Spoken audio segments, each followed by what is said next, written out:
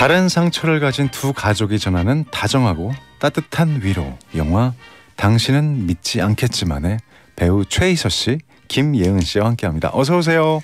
안녕하세요. 네 안녕하세요. 안녕하세요. 안녕하세요. 방, 어, 방금, 어, 목소리 너무 좋으세요. 감사합니다. 네, 저는 오늘 스페셜 스페셜 DJ 류수영이고요. 지금 보는 라디오 중이거든요. 먼저 한 분씩 카메라 이쪽 보시면서 한번 인사 한번 네. 부탁드릴게요. 희서 씨부터 예. 네, 안녕하세요. 배우 최희섭입니다. 오랜만에 나왔어요. 반갑습니다. 환영합니다. 예은 씨. 네, 안녕하세요. 배우 김예은입니다. 어, 저는 라디오와 라디오 경험 그리고 시네타운도 처음이라서 잘 부탁드립니다. 안녕하세요. 안녕하세요. 반갑습니다. 네. 희서 씨는 지난번 시네타운에 나와서 네, 하선 씨한테 결혼한다고 얘기했던 게 벌써 2년 전이네요. 네, 어떻게 알콩달콩 하신가요?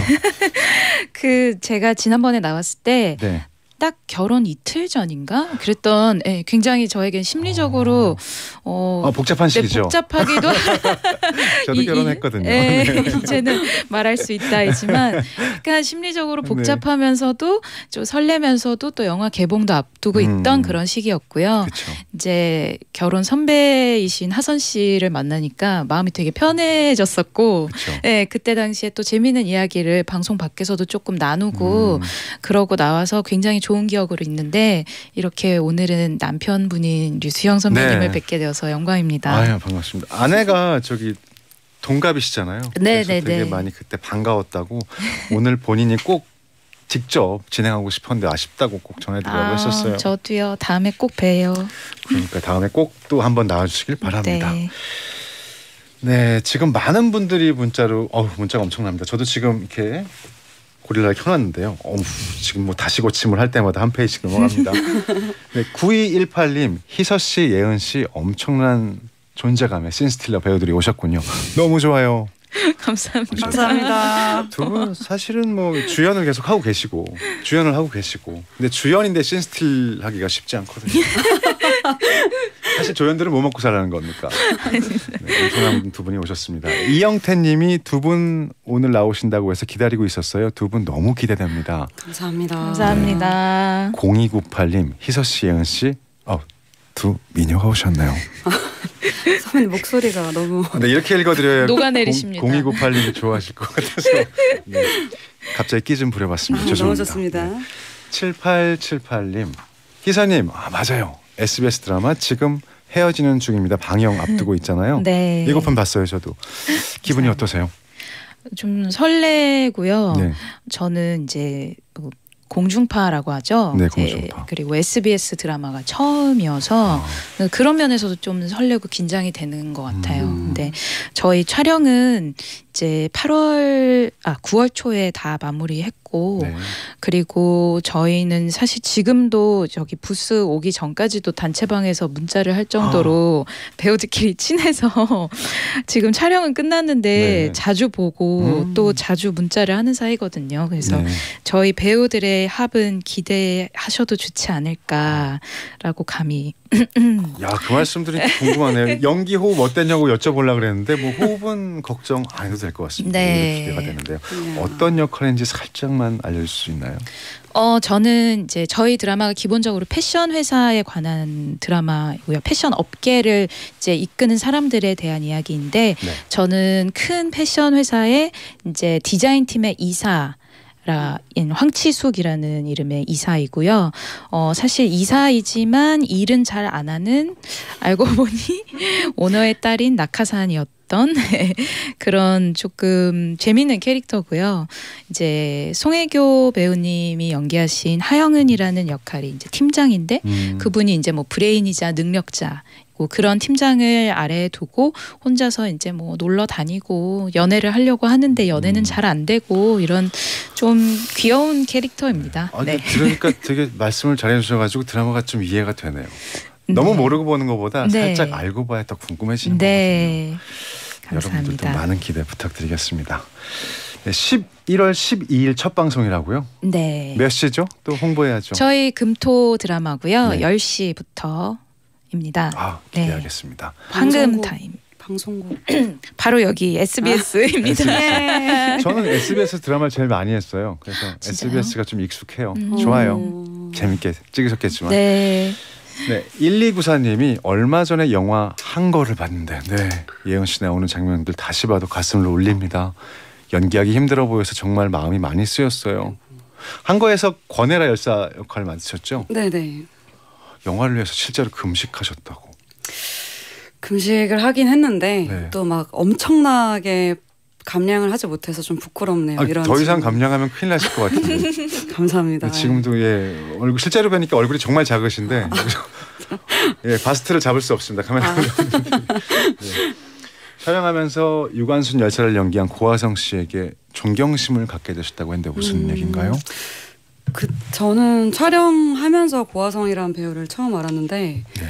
그때 사실 실존 인물이고 음. 너무 역사적으로 위대하신 열사님이시니까 어떻게 연기를 할까 이런 고, 걱정을 좀 많이 했었는데 저도 그랬고요. 근데 어, 고화성 배우가 하는 유관순 열사의 모습이 정말 지금 제 옆에 있는 사람 같은 거예요. 그렇게 연기를 하, 할 줄도 몰랐고 음, 그래서 더 많이 이입도 되고 그렇구나. 정말 마음이 아팠던 것 같아서 끝나고 계속 어, 잘하신 잘하는 줄 알았지만 이 정도였다니 정말 존경스럽다. 음, 맞아요. 저도 봤는데 고하성 씨도 그렇고 우리 예은 씨도 그렇고 이제 여자 배우들의 어떤 정말 영혼을 끌어모은 듯한 음. 그런 열기랑 눈빛이 굉장히 인상에 남았던 것 같아요. 빨리 봐야겠어요. 저도 예고편 보고 봐야지 봐야지 하는데 아이가 10시 반에 잠들면 아. 저도 그때쯤 대충 잠들어서. 캔맥주를 따놓고 잠드는 적도 있어요. 이렇게 아, 그쵸. 재미있는 영화를 보려고 그래서 저도 꼭 다시 아유, 보도록 네. 하겠습니다. 감사합니다. 예, 2985님 연기파 두 분이 나오 같은 영화에 나오신다니 이건 안 봐도 명작입니다. 네 맞아요. 당신은 믿지 않겠지만 저 되게 재밌게 봤어요. 음, 그러니까 저희 이 감사합니다. 진행을 위해서 저희가 먼저 이제 screener라고 이렇게 작은 화면으로 봤는데 큰 화면으로 보고 싶어졌고 그리고 제일 궁금해 찾아봤어요. 제목이 당신은 믿지 않겠지만인데 또 영어 제목은 The Asian Angel이더라고요. 네. 물론 이거 스포 때문에 말씀을 드릴 수는 없지만 되게 천사 오늘 첫 곡도 Angel's Hard to Find였거든요. 음. 네. 천사에 대한 얘기가 주는 아니지만 그게 주는 울림이 꽤 컸어요. 음. 그래서 영화를 보고 나서 아 되게 한 시간이 부족하겠구나라는 생각이 들었어요. 음. 28일 목요일 날 개봉을 앞두고 있는데요. 먼저 어떤 내용인지 예은 씨가 간단히 소개해 주실 수 있나요? 어, 일본 형제가 나와요. 치유 씨와 토루라는 형제가 나오고 그 두 형제가 갑자기 하루아침에 음. 어, 오갈 데가 없는 신세가 돼서 한국으로 옵니다. 그래서 새 출발을 하기 위해서 강릉행을 결심하고 그리고 뭐 여- 한국 가족들에는 이제 솔, 정우, 봄이라는 이렇게 세 남매가 나오는데 네. 이들은 또 너무 고단한 삶에 지쳐가서 어떻게 할까 하다가 부모님의 성묘를 같이 가게 됐는데 그때 어떤 접점도 없던 가족이 만나서 새로운 가족을 음. 이루는 아주 따스한 이야기입니다. 저희 영화는 로드무비라고 보시면 될것 맞아요. 네, 같아요. 맞아요. 저희 이제 강릉행 열차에서 만난 두 한국과 일본 가족이 함께 여행을 떠나게 되는 이야기이고 그 여행지에서 뿔뿔이 흩어져 있던 어떤 그 가족의 형태가 큰 가족의 형태로 만들어지는 그런 가족 드라마라고 보실 수도 음. 있는데 음. 어. 좀 재밌었던 게 저희가 실제로 강릉에서 올로케를 했었고요. 음. 그리고 실제로 일본 배우분들께서 이제 이 영화를 찍으러 이 여행을 하는 영화를 찍으러 여행을 오시듯이 네. 한국에 오셔서 에어비앤비에 묵으시며 굉장히 예, 정말 그분들께는 큰 여행을 마치고 일본으로 귀국 귀국하셨던 음. 그런 좋은 추억으로 남아 있다고 음. 들었는데 네. 그런 의미에서 좀 특별했고 또 아까 뭐 천사 이야기를 잠깐 디제이님께서 해주셨지만 네. 저 영화에서 이렇게 천사를 보는 장면이 나오거든요. 근데 그 장면은 뭐 저희 영화의 클라이막스이기도 하고 반전이기도 하고 네. 해서 꼭 극장에서 한번 확인해 주셨으면 좋겠습니다. 네, 꼭 극장에서 확인하셔야 돼요. 꼭 극장에서 아, 질문이 많은데 더 자세한 얘기는 2부에서 나눠, 나눠 듣도록 하고요. 여기서 최희서 씨의 추천곡 듣고 올게요. 어떤 곡이죠? 아델의 신곡이죠. Easy on Me라는 곡이고요. 어, 지금 발매된 지 얼마 안 된 걸로 음. 알고 있어요. 일주일 정도밖에 음. 네. 안 됐고, 전 원래 아델이라는 가수의 팬인데 굉장히 오랜만에 앨범을 음, 내서 맞아요. 반가웠고요. 그리고 이게 좀 자전적인 이야기도 들어가 있다고 했어요. 그래서 음. Easy on Me는 나를 좀 너그럽게 음. 봐줘라는 뜻이더라고요. 그래서 이제 곡을 듣다 보면은 나 너무 힘들게 잘 살아왔는데 나를 좀 잘 봐줘 나한테 easy 그러니까 좀 쉽게 음. 어, 상냥하게 대해줘라는 그런 뜻이거든요. 그래서 듣다 보면은 굉장히 음, 울림이 네. 계속 크, 커지더라고요. 점점 그래서 듣던 거 또 듣고 또 듣고 이렇게 어. 루프해서 듣고 있습니다. 음. 아 그래 우리 모두에게 지금 필요한 노래가 아닌가 싶네요. 아델의 Easy on Me 듣고 오겠습니다.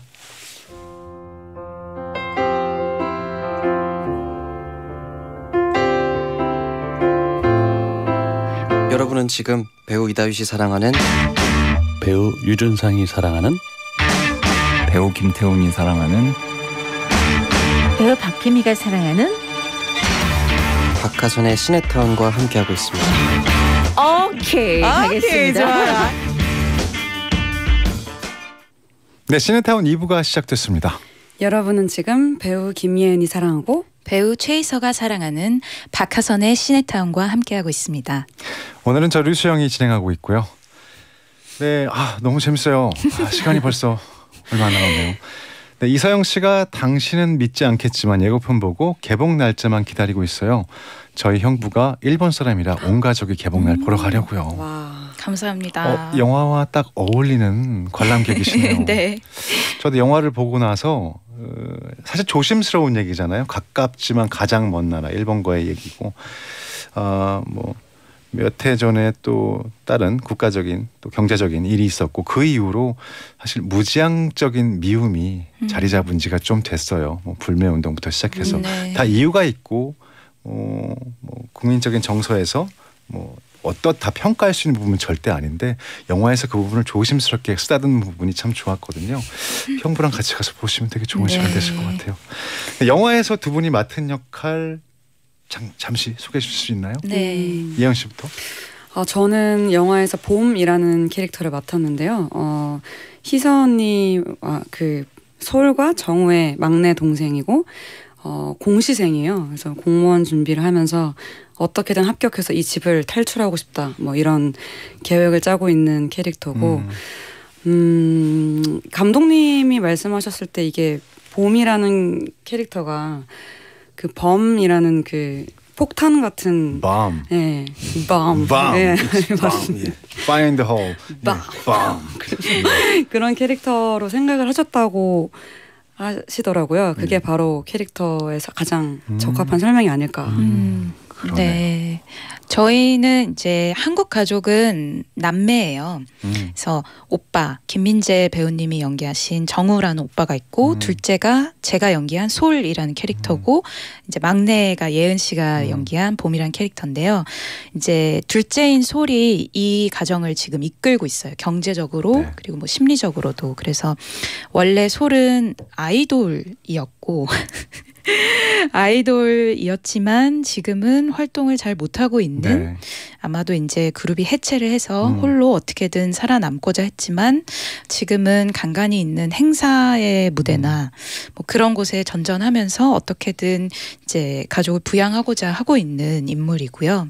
음, 소울은 어, 어떻게 보면 좀 희망을 이제는 희망을 갖고 살지 않고자 하고 있는 30대 초반의 여성이에요. 이제 가수가 되고자 했던 꿈이 어떻게 보면 좀 실패로 실패가 되었고 이 이후의 삶을 어떻게 해야 될지 모른 채 좀 방황을 하고 있는 캐릭터인데 그럴 때이 제 츠요시라는 이케마츠 소스케라는 일본 남자 배우가 연기한 역할을 만나게 되었고 또 이 가족을 만나게 되면서 어, 점점 더 삶의 희망을 찾아가는 그런 캐릭터입니다. 씨 배우한테 반했어요. 저 그 대사에서 반했어요. 한국을 대표하는 게 뭐라고 생각해? 김치. 그다음 닭갈비. 또 치즈 닭갈비. 맞아요. 저 그 씬에서 빵 터졌거든요. 아 맞다. 어, 정확해요. 네 너무 너무 어. 어떻게 그렇게 대사를 다 기억해 주시죠? 너무 진짜 감사한데요. 감동이다. 마지막에 천사 아 천사 얘기하면 안 되는데 약간 스포가 나와도 이해하십시오. 네. 그 천사를 표현할 때요 손 네, 모양 예. 보이시나요? 보이는 라디오로. 아 저 신을 나라면 저렇게 못했을 것 같더란. 되게 귀엽고 음. 귀여운데 되게 진심 어리게 잘 연기하는 배우란 나이가 어떻게 됐을까요? 이케마츠 소스케 배우는요. 네, 90년생인데요. 되게 젊은 배우네요. 그런데 네. 연기 경력이 25년이에요. 이경은 저보다 1년이 선배시네요. 라스트 사무라이로 라스트 사무라이라는 배우. 이제 예, 헐리우드 영화로 데뷔를 했고 네. 그 이외에 무대에서도 뭐 라이온 킹의 신바 역할을 했고 음. 이렇게 아주 처음부터 주연도 했고 조연도 음. 하면서 지금도 굉장히 다방면으로 활동을 하고 있는 그렇군요. 친구고요. 뭐 일본 영화를 보시는 분들은 자주 보셨을 음. 굉장히 이제 유명한 배우이고 그래요. 그 유명세만큼 어떤 이런 연기를 향한 태도나 음. 진심이 어마어마한 친구여서 저희도 같이 연기하면서 정말 반했어요. 음. 진짜. 영화를 봐도 느껴져요. 사실 되게 어마어마한 배우들이거든요. 하- 뭐 그래요. 저희 배우들이 봤을 땐 제가 배우로서 봐도 다 너무 자기 분야에 확실하신 배우들이 나와서 사실 작은 영화예요. 힘 있는 네. 영화지만 음. 작은 영화를 꽉 채우고 계신 걸 보고 되게 반했는데 어 2985님이 그런 질문 해주셨네요. 오다기리조와 어느 가족에 나왔던 이케마츠 소스케가 출연하시는군요. 와 배우들 조합이 대박이에요. 저 꼭 보러 갈게요. 그래요. 한국 배우들 빼놓고도 일본 배우들도 되게 유명한 배우들이 나와서 음, 네. 영화를 만들었단 말이에요. 희서 씨도 배우들 캐스팅 듣고 어떻게 생각하셨나요? 좀 솔직히 거절할 이유가 없다고 생각했죠. 저도 그랬을 것 같아요. 어, 이 배우들이 한국에 강릉에 와서 에어비앤비에 묵으면서 이 영화를 네. 찍겠다고 한다고? 이 맥주를? 마시면서? 맥주를 마시면서 네. 근데 저는 이제 오다기리 조는 어렸을 때부터 팬이었고요. 이케마츠 소스케고는 이제 저희 20대 정도 제가 20대 정도 됐을 때부터 이제 일본 영화의 주 배역으로 항상 자주 볼 수 있는 음. 그런 배우여서 익히 알고 있었기 때문에 음. 또 이시 유야 감독의 어떻게 보면 뮤즈 정도로 음. 되는 지금 일곱 번째로 같이 작업하고 그렇군요. 있다고 들었어요. 그래서 이 합이라면은 제가 좀 껴도 신뢰가 안 된다면 네. 제가 이제 최선을 다한다면은 여기에 이제 폐해가 되진 않겠다 음. 이렇게 생각을 하고 네 출연을 결심하게 되었죠. 영화를 보면서 음, 주인공들이 기차에서 만나고 그리고 친해지는 과정을 보면서 저도 같이 여행하는 기분이 들었거든요. 근데 그 이후에 든 생각은 아, 구성원끼리 어떻게 저렇게 친해졌을까? 그래서 보다 보니까 퇴근 후에 사실 영화 속에서 맥주를 엄청나게 드잖아요. 저도 영화 보다가 한 캔 먹었어요. 아, 얼굴 부어서 요즘 참고 있다가 못 참고 저녁은 굶었는데 맥주는 먹었는데요. 퇴근 후에 배우들끼리 맥주를 참 마시면서 실제로 대화도 많이 나, 나누셨다고 했는데 어떤 얘기를 주로 나누셨나요? 음, 저 같은 경우는 그 당시에 뭐 희서 언니도 알겠지만 정말 고민이 많았어요. 음. 연기적으로나 아니면 스스로 개인적으로도 그렇고. 근데 그 이야기를 이제 언니랑도 하지만 음. 저는 당시에 뭐 회사가 없어서 혼자 다녔었는데 그때 같이 퇴근길에 네. 정말 용기를 내서 한 질문을 생각해서 어. 딱 여쭤보면 그 두 분께서 어떤 인생의 다 이야기들을 막 해주시더라고요. 그런 얘기를 하면서 엄청 저는 마음에 짐을 내려놓고 어. 마음이 열었던 것 같아요. 서로가 서로한테. 음. 그때 기억나는 어떤 한마디 조언 같은 거 있나요? 음, 어 일단 뭐 이런 얘기를 여기서 해도 될지는 모르겠지만 해도 돼요. 괜찮습니다. 그냥 오다기리 상께 여쭤봤을 때는 음 연기에 대해서 이렇게 사실 저는 뭐 재능도 없는 것 같고 뭐 특출나게 예쁜 것도 아닌 것 같고 뭐 많이 흔들리고 있는 것 같다. 근데 이런 경험이 있냐라는 질문을 했을 때 매일매일 그만두고 싶다고 아, 라고 얘기를 하시는 네. 거예요. 매일 그만두고 음. 싶고 매일 내 재능을 의심하고 매일 그렇게 생각을 한다고 얘기를 해주시면서 누구나 겪는 그 창, 창작을 하는 사람이라면 누구나 겪는 음. 거고 그런 생각이 없는 게 더 이상한 거라고 생각한다고 맞아요. 얘기를 해주시셔서 정말 감사했던 저도 기억나네요. 나만 긴장하는 게 아니었어. 다 긴장하고 있어. 그렇죠. 기억나는 말씀 혹시 있으세요? 저는 너무나 기억나는 이제 에피소드들이 많은데 네. 사실 저는 이 현장 자체에서 느껴지는 배우들의 집중력에 되게 감동했었어요. 음. 음, 영화를 보셨으면 아시겠지만 저희가 이제 세 남매가 성묘를 가는 장면이 음. 있거든요. 네, 성묘를 가고 이제 일본 친구들은 사실 한국의 이런 성묘 문화가 처음이다 보니 뒤에 서서 이렇게 지켜보는 씬이 있어요. 네. 근데 저희가 그 씬을 진짜 산 속에 있는 성묘에서 찍었고 3시간 동안 이제 화장실도 못 가고 아래에 내려가지 못하는 상황이었는데 대사가 없거든요. 일본 배우분들은 그 씬에서. 근데 계속 서 있는 거예요. 그러니까 저나 예은 씨의 바스트를 찍을 때는 뒤에 걸리지도 않는데 음. 앉아 있지도 않고 그 자리에 정말 우뚝 서서 3시간을 그렇게 계신 거예요. 너무 근사하네요. 정말 어, 의자에 잠깐 앉으라고 해도 앉지 않아요. 이게 왜냐하면 저희에게는 어, 뭐 소위 얘기하는 감정신일 수 있죠. 그렇죠. 예, 부모님을 찾아뵙고 오랜만에 찾아뵙네요라고 이야기를 하기 때문에 어떻게 보면은 일본 배우들께서도 이게 좀 숭고한 신이라고 생각을 하신 것 같아요. 음. 그래서 어, 저희가 촬영할 때 단 한 번도 앉지 않고 핸드폰 당연히 안 보고 음. 정말 전 솔직히 안 잡담도 안 하고 맞아. 계속 서서 저희를 저희의 뒷모습을 지켜봐 주시는데 누가 시킨 것도 아닌데 저렇게 할 수 있는 음. 이 집중력과 그런 어떤 정말 태도. 와 진심 이런 게 전 너무 감동적이었고 근데 이 씬뿐만 아니라 모든 씬에서 그랬어요. 어. 예. 진짜. 어, 저 화장실 버스- 가는 걸 본 적도 없어요. 음. 솔직히 말해서. 예. 그리고 버스 촬영장에서도 네. 잠깐 내릴 법 하잖아요. 카메라 네. 세팅을 바꾸면. 근데 오다기리 조 상이랑 다들 그 자리에 앉아서 아무것도 하지 않고 그냥 거기서 가만히 앉아 있었어요. 예. 그리고 그리고 쉬라고 쉬시라고 해도 그리고 저희가 촬영장에 모니터가 없었거든요. 감독님께서 이게 또 감독님 얘기로 넘어가는데 옛날 필름 세대처럼 네. 맞아요, 맞아요. 근데 저희는 저는 솔직히 필름으로 찍어본 적이 없어요. 선배님 저는 있어요. 네, 한 모니터가 번, 딱 없어요. 그래서. 있어요. 어, 근데 물론 뭐 연극하는 기분이긴 했어요. 그러니까 음. 감독님께서 연기를 모니터가 아니라 카메라 옆에서 보시거든요. 음, 이렇게 옆에 예. 서 있죠. 근데 이제 렌즈가 가까울 때는 뭐 거의 코앞에서 제 연기를 보시잖아요. 음. 이런 경험이 너무 영화를 찍으면서는 처음이어서 음. 처음에는 조금 긴장도 더 됐던 것 같아요. 감독님이 그냥 생으로 저의 연기를 눈으로 보고 계시니까. 음. 근데 나중에는 좀 해방감도 느꼈던 것 같아요. 이게 모니터를 보고 확인하면서 가끔 제 연기에 대해서 이제 자괴감이 들 때가 있거든요. 그쵸. 아, 왜 저렇게 모니터하고 했지? 그냥 이러고. 다시 찍는 경우도 예. 생기죠. 저는 그게 제 연기에 그렇게 도움이 안 될 수도 있었겠구나라는 걸 이번 촬영에서 알게 됐어요. 음. 예, 확인을 안 하니까 일단은 그 시간에 집중하는 집중도도 올라가고. 그 다음 음. 씬에 어떤 이런 자괴감 없이 좀 자유로워진달까? 뭐 그런 그런 좀 독특한 경험을 하면서 이제 일본 배우분들은 이런 경험이 자주 있다고 하시더라고요. 음. 그래서 굉장히 재밌었어요. 네. 야 의미 있고 참 재밌는 촬영장이었는 것 같아요. 따뜻하고. 네. 맞아. 지금은 뭐 그런 촬영장도 있고 그런 선배님들도 많이 계시는데 대부분의 촬영장에서는 시간적 여러 가지 제약 때문에 본인 씬 찍고 빠지는 경우가 많죠. 맞아요. 그렇게 다 모여서 실제 이야기를 만들어간 네. 그래서 영화가 그렇게 따뜻했구나. 이유가 있네요. 근데 촬영은 강릉에서 다 하신 거예요? 네, 저희 네. 강릉으로 떠나기 전까지는 음. 서울에서 찍었는데 그 회차는 많지 않았고요. 음. 네. 거의 강릉에서 다 맞아요. 찍었다고 보시면 돼요. 맛있는 거라도 좀 많이 드셨나요, 강릉? 아유 많이, 먹었죠.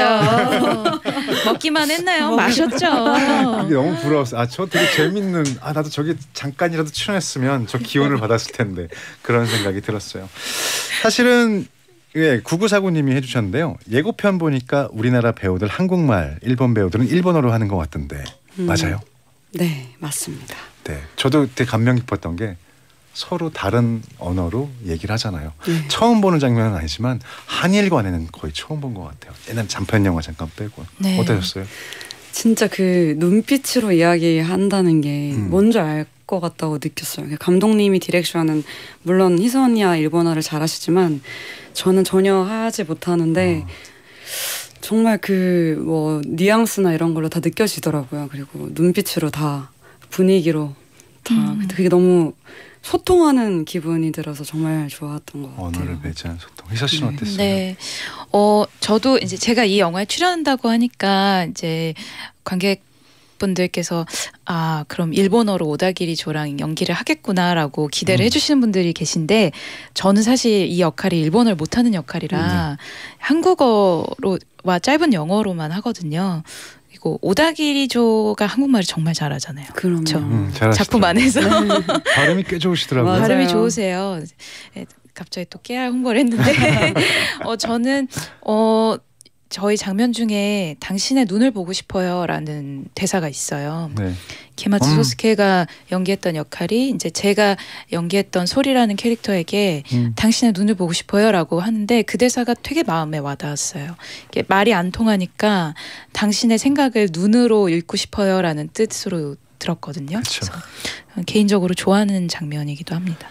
맞아요. 저도 되게 사실은 그런 말, 그런 영화적인 대사가 영화에 사라진 지가 좀 오래됐는데 네. 그런 대사를 들으니까 시를 듣는 것처럼 되게 마음이 따뜻해졌던 기억이 나요. 음. 어떡하죠? 벌써 아쉽게도 마칠 시간입니다. 질문은 지금 한 두? 페이지는 더 하고 싶은데 시간이 너무 빨라. 아, 아쉽네요.